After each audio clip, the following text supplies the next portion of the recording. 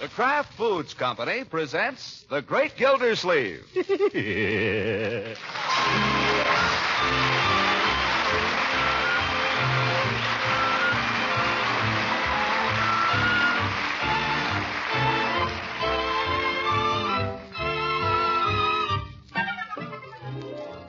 The Great Gildersleeve, starring Harold Peary, brought to you by the Kraft Foods Company, makers of Parkay margarine and a complete line of famous quality food products.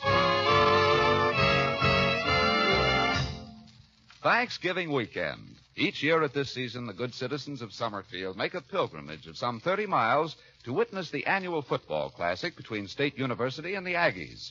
And in the whole of Summerfield, there is no one more determined to go this year than Gildersleeve's nephew, Leroy. For weeks he has been hammering away at it. Hey, Unc, if I do the dishes tonight, can I go home? Can I? How about it? Can I? No. No, Marjorie. Nobody asked you. Uncle Mort, if he goes to that game, I shall just die. Oh, why? Because Marshall's coming home for the weekend, and he's taking me. And all Leroy wants to do is spy on us. Boy, that's a cheap thrill.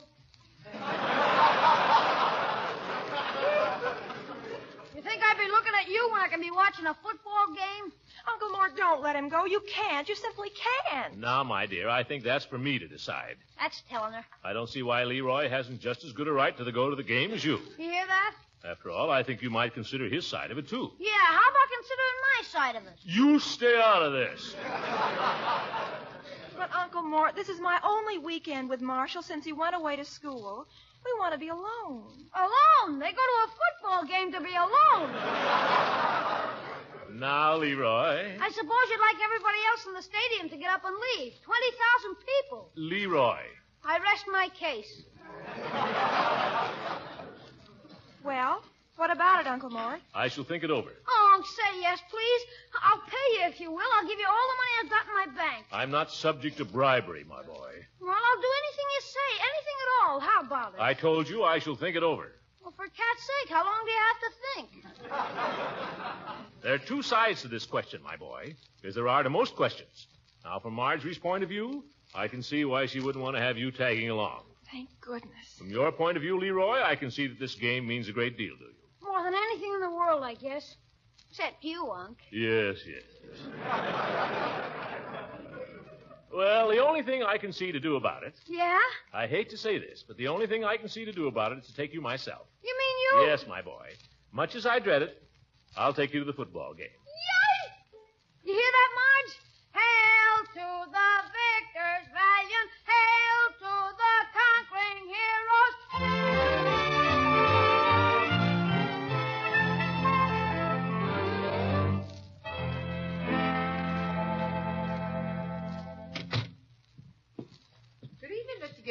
Oh, good evening, Bertie. Is that you, Unc? Yes, it's me. Hey, did you get 'em? Did you get the football tickets? I was a good boy today, Unc. I cleaned up the whole room, even my closet. Did you get good seats? Where are we sitting? Unc, you didn't forget 'em. No, Leroy, I didn't forget them, but I'm afraid I have bad news for you just the same. They're completely sold out. Oh, that's a big jip. I know, my boy. I know exactly how you feel, but uh, we have to learn to take these little disappointments and make the best of them, don't we? Gosh, if you didn't have to think it over so long, if you'd gone and got on the ball. I did the best I could. After all, I'm just as disappointed as you are. It means that I can't go to the game either. Ha! You didn't want to go in the first place. That's not true, Leroy. I mm, wanted to go very much. Yeah. But there's no use crying over spilt milk, is there? There'll be other games. Some other time, perhaps, eh? Leroy? I want you to believe that I tried, my boy. Why, I even asked Judge Hooker to use his influence. Not that I'd give two cents for all the influence he's got. I should have known. I should have known I'd never get there. This is just a terrible day, that's all. It's been a terrible day right from the start. Friday's always a terrible day. Leroy, honey, what's the matter? Nothing. Oh, now don't do that. Uh, Let's not give up hope, my boy. After all, there's still Judge Hooker. Yeah. Well, you're probably right.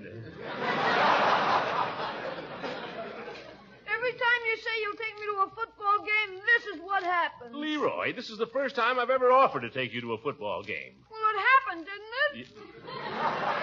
I should have known. Now, Leroy, you're just tired. Why don't you go up and get ready for bed and let Bertie bring your supper to you up there? I don't want any supper. Well, later maybe you will. You run along and I'll be up.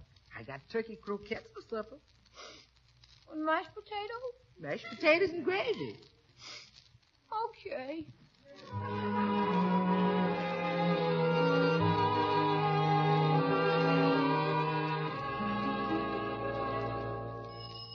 Doorbell, I'll get it. No, I'll get it, Bertie. Hooker, come in, Judge. I can't stop, Gildy. I just came by. Leela, I didn't see you standing back there.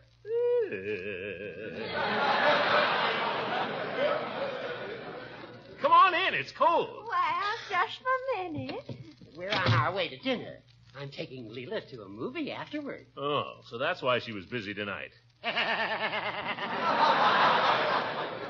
You didn't tell me you were going out tonight with the judge, Leela. I don't tell everything I know. I sort of cut you out there, didn't I, Gildy? Old goat. Oh, I'm sorry. careful, my dear, careful. Come in. Hello, Marjorie. Hello, Mrs. Ransom. I hope I didn't hurt you. Oh, good evening, Judge. Marjorie, Oh, don't you look pretty? Thank you. such pink cheeks. Mm, And natural, too. I, I'll bet you're excited that Marshall Bullard's home. Oh, he's been home for two days. Uh, Unky, is it all right if we go skating after supper? After supper? It's perfectly safe. There's a big moon out. I don't know that that makes it safe. Skating in the moonlight. How I'd love to be out there with y'all. Well, why don't we? We could all make Oh, a... wait a minute now. Leela and I have a date. Oh, yes, that. Well, how about tomorrow then? But tomorrow's Saturday, Uncle Mort. Marshall and I are going to the game. Oh, oh, yeah. I'll tell him it's all right about going skating tonight then. Well, now, wait a minute. I did... Well, all right. Thanks, Unky. You're a dear. Yes, yes. Oh, to be 16 again instead of pushing 30. Football games, skating in the moonlight. I used to love football games. We used to drive up to Atlanta when Georgia played, Georgia Tech. It was such fun. The girls looked all so pretty and the men were all so handsome. Yeah. Ah, There'd be parties at all the fraternity houses after the game, and a dance at the big hotel there in the evening, and driving back by moonlight. Come on, Leela. I think it's time we were getting along. Oh, yes, I suppose it is. Oh, that reminds me, Gildy. I almost forgot what I stopped here for. I got you that pair of football tickets you asked for. you got them? Just leave it to old Judge Hooker. There they are. See. Well, that's... Well, that's fine. Are they any good? Are they any good? Why, they're right smack on the goal line. I don't know whether to thank you or not. But thanks anyway. Oh, Throckmorton, don't tell me you got tickets for tomorrow's game. Huh? And never even told me about it. Aren't you wonderful? I might point out it was I who got the tickets. Oh, but it's the thought that counts. Yes, but Leela, you- Oh, I think surprises are such fun, don't you? Now, here I wasn't looking forward to a thing tomorrow except washing my hair, and now all of a sudden everything's wonderful.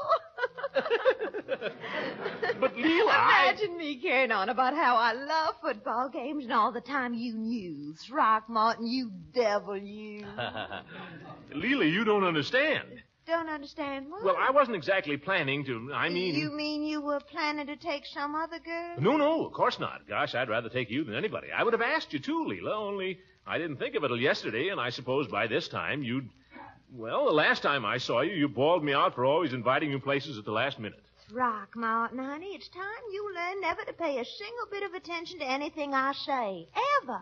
Leela, I don't like to hurry you, but it's time that we were getting downtown. Oh, yes, we must be going. Yeah, but wait. We've got to be going, Gildy. I have a reservation for dinner. You don't need a reservation at Joe's place. We're not going to Joe's place. Come on, Leela. For heaven's sake, let's get started. But we haven't settled Oh, this. well, don't worry. I'll call you first thing in the morning about the plans and all. Good night, and I think you're a liar. what am I going to tell her when she calls?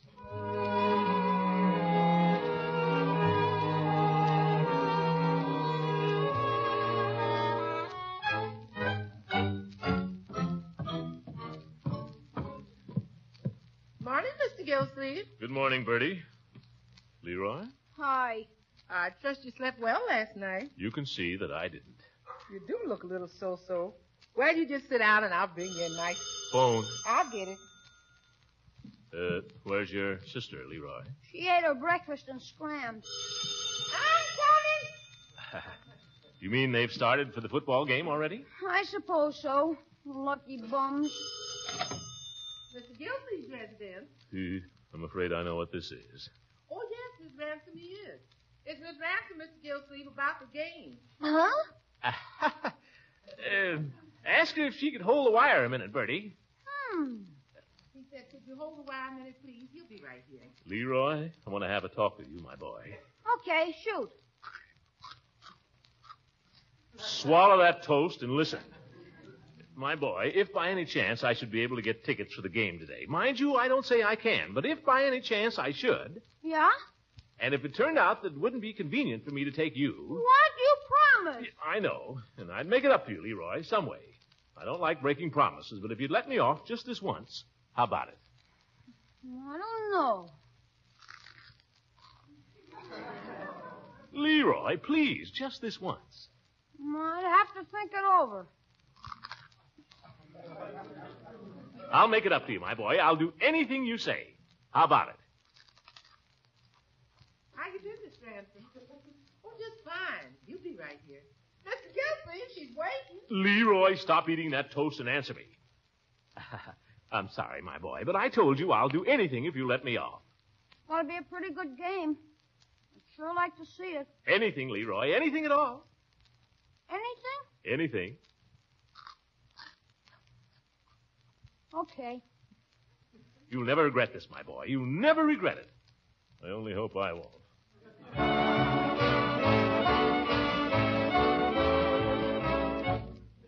Hello, Piggy. Leroy, the kid himself. Boy, oh boy, Pig, have I got Unc where I want him. What a character. You know what he did? He told me right...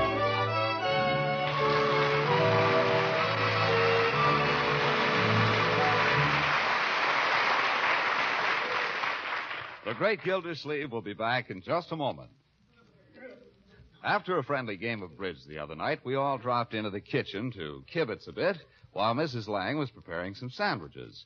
And as she was spreading the bread with Parkay, one of the guests said to me, So that's the Parkay margarine I hear you talking about, John, on the Gildersleeve show. That's the genuine article, the one and only Parkay margarine. Well, if it's as good as you say it is, I. Well, the best way to find out is to taste it right now. Ah, here we are. The first sandwiches are ready. Thank you. Now, there's flavor for you. Flavor that's fresh and sweet. Am I right? Hmm, it's delicious. It's the fine, wholesome farm products that make Parkay taste so good. And you know, friends, you'll have the same satisfying taste experience the very first time you spread Parkay margarine on bread, toast, rolls, pancakes, and waffles. I'm sure you'll agree with the millions who prefer Parkay margarine that it's still unmatched for flavor. And it costs so little to enjoy Parkay. Only about half the price of costly spreads. That's P-A-R-K-A-Y. Parkay margarine. Made by the Kraft Foods Company.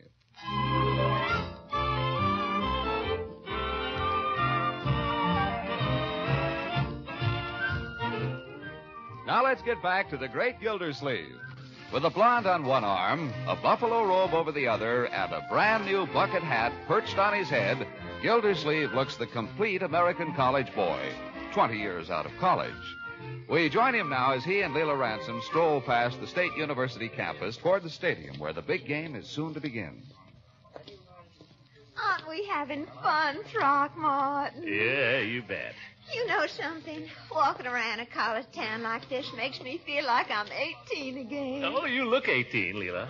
And I'll tell you something else. I don't feel a day over 22. Let's skip, I dare you. oh, Throckmorton, with all these boys and girls going by. What do we care? Come on, let's skip. it's Marjorie and Marshall Bullard. You. well, I saw you up ahead there, Unky. Hello, Mrs. Ransom. You remember Marshall, don't you? Indeed, I do. It's nice you could come home for the holiday, Marshall. Thanks. How are you, Mrs. Ransom? Mr. Gildersleeve? Just fine, my boy. Unky, where did you get that bucket hat? Uh, this hat? Well, I got it at the Summerfield men's toggery. What's the matter with it? Oh, nothing. It just looks kind of collegiate. That's not what the college men are wearing this year, Mr. Gildersleeve. That's immaterial to me, son.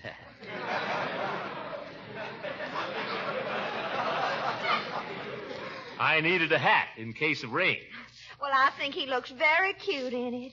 Although if you pulled it a little farther forward, Like this? It was better the other way. It's nuts. Marshall, I do believe you've grown just in the few months you've been away. Put on 15 pounds. Been playing a little football. Oh, speaking of football, shouldn't oh, we you be... seem to be in such a hurry, Throckmorton.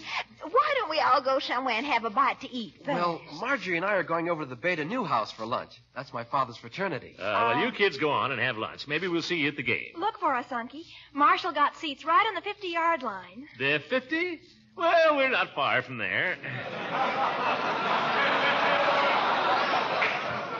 Uh, see you later. Bye. I wish we didn't have to sit way down by the goal line, Throckmorton. Well, I'll see what I can do. But it's pretty late. I wonder how that Bullard kid got seats on the 50. I suppose he got them through his father. Yeah, I suppose so. Well, by George, I'll go to the box office and tell them who I am. Don't worry, Leela. We'll wind up with the best seats in the place.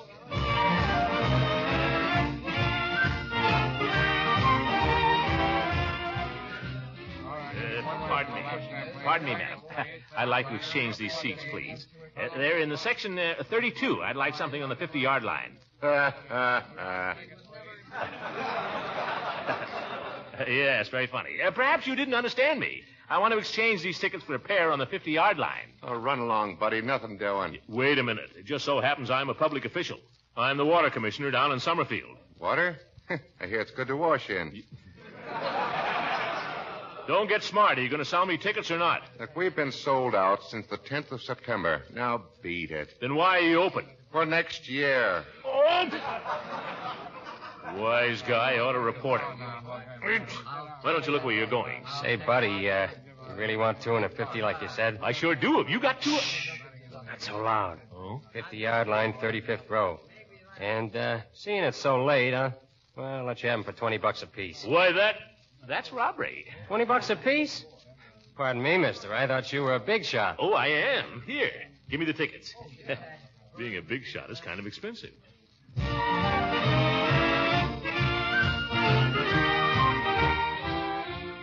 Look, honey, the band down there on the field. They're getting ready to spell out something. Say, look at those uniforms. Welcome, Aggies. Pretty clever. Throckmorton, aren't we having fun? You bet. Why don't the teams quit practicing? They've been practicing all season. Let's start the game. Oh, let me see the program for a minute, Throckmorton. Hmm? My, look at this picture of the state captain. Isn't he handsome? Tom Lingenfeller. Certainly looks dumb. Oh, but look at those shoulders. My. Probably wearing shoulder pads. I'll tell you something else. A lot of these football players aren't as strong as they look. The Army had to reject a whole flock of them. Hmm, I suppose so. But of course, a girl looks at these things a little differently from the army. Uh, oh. There's Marshall. Marshall, where? Down there, just two rows in front of us. You. Hi there. Oh, why, that he's got his arm around Marjorie. Hey there, what do you think you're doing? Throckmorton. Cut that out, young man. I'm watching you. And don't grin at me like that. For heaven's sakes, Throckmorton, what harm is there in the boy putting his arm around in a public place like this? Don't tell me it feels just the same in public as it does anyplace else.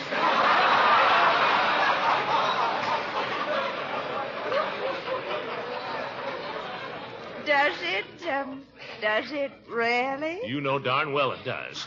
Mercy, how would I know? there, how's that? Marjorie, turn around and watch the game.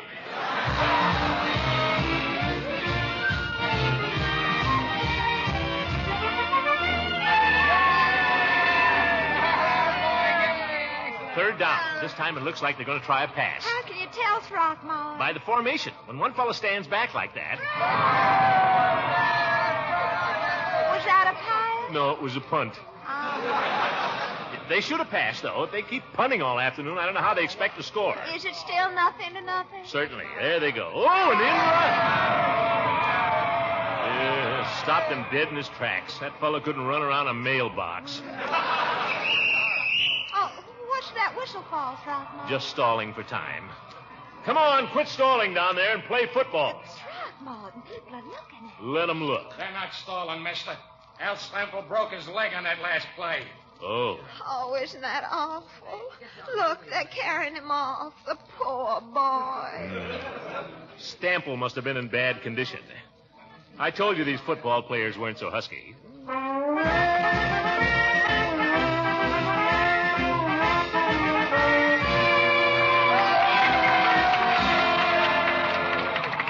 Hey, you cold, Leela? I'm perfectly comfortable, thank you. Oh, that's funny. I'm cold. Well, to tell you the truth, every time you start to hold my hand, Marshall Bullard turns around and laughs at me. Oh, he does, eh? That young smart now, aleck. Throckmorton, he's just a child. Although I must say he seems much better looking than when he went away. Don't you think he is? I'm watching the game, Leela. Oh. Second and ten. Maybe they'll try a pass this time. Through the line. Can you tell, Throckmorton? I couldn't see a thing on that play. When everybody falls down, it's a line play. he gained about a foot. Well, he tried anyhow, and that's what counts. Never make a touchdown that way, Leela. Now I suppose they'll kick again. There, there they go. Kick the ball back and forth. After you, my dear Alphonse. After you, my dear Gaston. Why, George, we don't get some action pretty soon, Leela. I'll go down and complain at the box office. All afternoon they've been playing, and nobody's even tried. And once again, the ball changed hands in this nip and tuck battle between State University and the Aggies. Oh, boy. Believe you me, folks, both these teams are playing heads-up football out here this afternoon. What a game. They're lining up again now. State's ball on their own 40-yard line, T formation. Come on, State. Let's get a touchdown this time. The ball was snapped to Captain Tom Lingenfelder. He gets the ball and... Come on, Lingenfelder. Lingenfelder fades back, takes a ladder to the left, runs for the hole between right guard and right tackle. He's through. He's away. No, no. A beautiful tackle came right through and stopped him cold. I tell you, folks, you've never seen football like we're seeing today at Har- Fireman's Field. Did you hear that, Bertie? Lingenfelder almost got away, but they stopped him cold. Is that a fact? Yeah. You want to listen a while, Bertie? No, thank you, Leroy.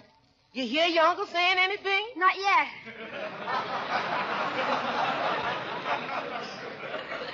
Fourth and six for State, falling back into punt formation. Crowds in the stands are tense as Tom Lingenfelder opens his hands for the ball. He's got it. He kicks.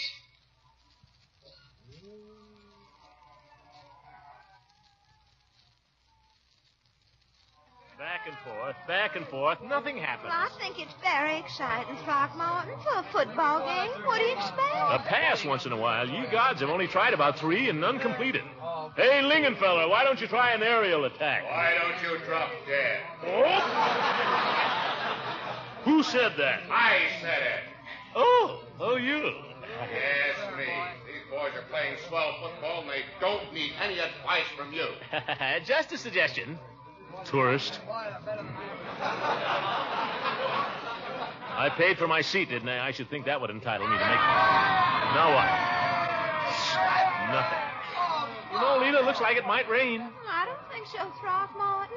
How can you think such a thing when we're having so much fun? I don't really think it'll rain. I don't think anything at all is going to happen here this afternoon. Oh, Throckmorton, honey, I dropped one of my gloves just now. Do you see it anywhere? Glove? No. Must be down under the seat. Would you mind looking down there for it? My hands are cold. Well, if your hands are Uh, cold. later, darling.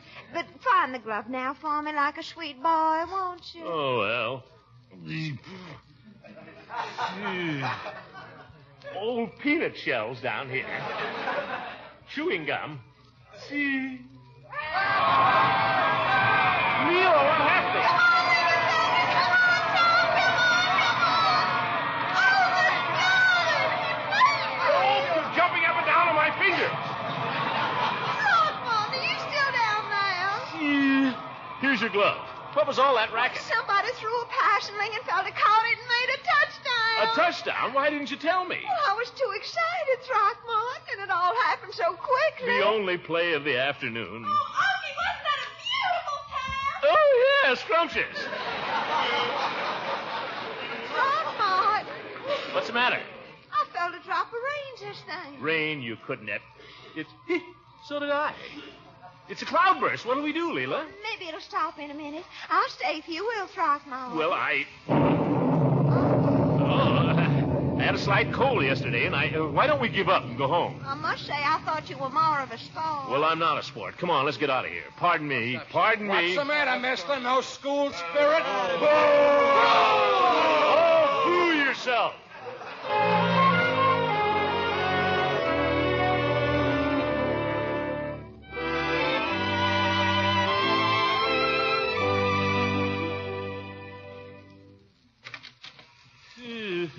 Soaking wet. Bucket hat. Bucket is right. Evening, Miss Gilsleeve. Did you have a nice time at the game? Uh, don't speak of it, Bertie. Don't speak of it. Well, it's too bad it had to rain. Maybe a little supper will make you feel better. I don't even feel like eating. I had a couple of sandwiches half an hour ago. Well, I'll dish it up anyway. Unc, is that you? That's the game super, Unc. Super? What game are you talking about, young man? The State Aggies game, the one you saw. I heard it on the radio. It sure was super. The re- How do they do it? Say, Unc, I've decided what I want for a reward for missing it. Oh, all right, my boy. What is it? Take me to the state game next Saturday. Oh, Leroy, anything but that.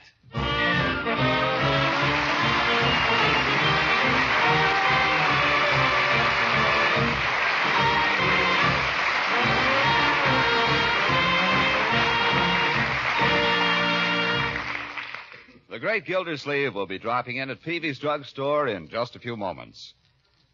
How are you getting along with your food budget these days? Are your meals pretty expensive? Well, maybe I can give you a little help.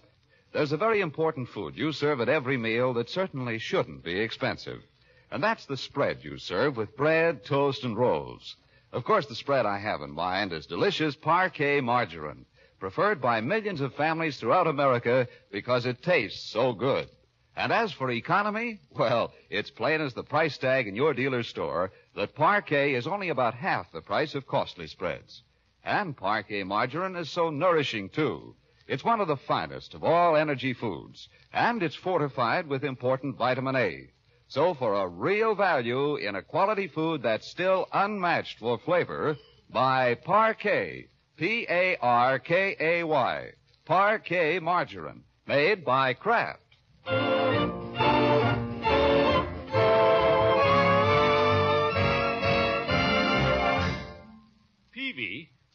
Fond of football? Uh, football, Mr. Gildersleeve?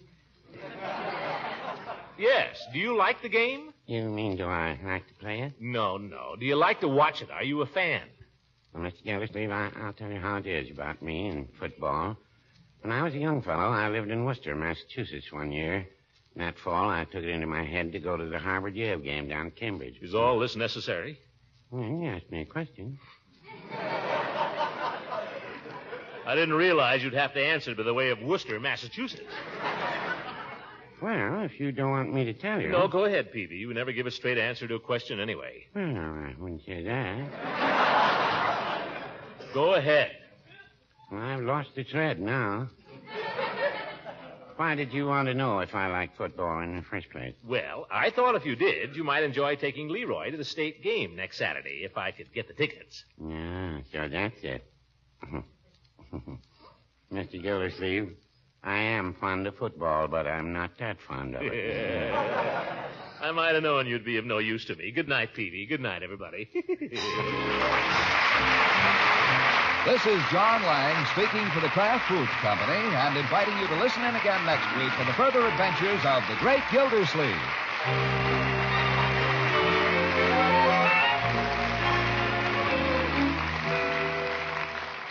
Another fine Kraft food product you'll want to add to your shopping list is Kraft Salad Mustard.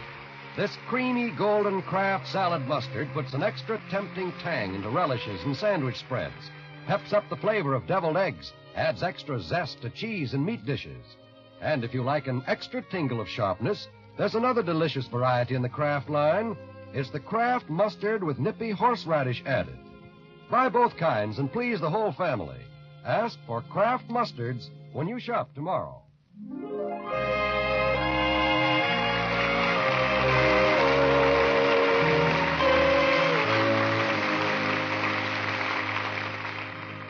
This is the National Broadcasting Company.